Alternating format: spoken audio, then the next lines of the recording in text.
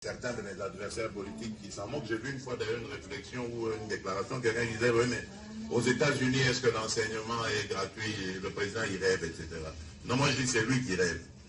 Parce que les États-Unis, c'est un autre système, c'est eux qui l'ont décidé ainsi. Depuis qu'ils sont États-Unis, ils ont, fait de l'enseignement euh,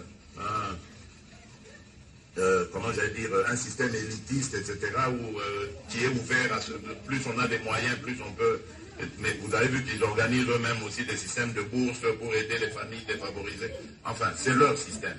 Nous aussi, nous avons notre système. Les Américains n'ont pas de coltan, les Américains n'ont pas de cuivre, les Américains n'ont pas de cobalt, les Américains n'ont pas de diamants, les Américains n'ont pas d'or, les Américains, les Américains n'ont pas euh, du, chrome, du nickel, je, peux en citer des tas, et ce sont des, réalités, ce sont des, des, actifs miniers que nous pourrions mettre en valeur, euh, utiliser à bon escient pour euh, nous permettre de financer ce genre de, possibilités, d'activités, et, et de même prévoir un fonds pour l'avenir de, notre jeunesse, les générations euh, futures.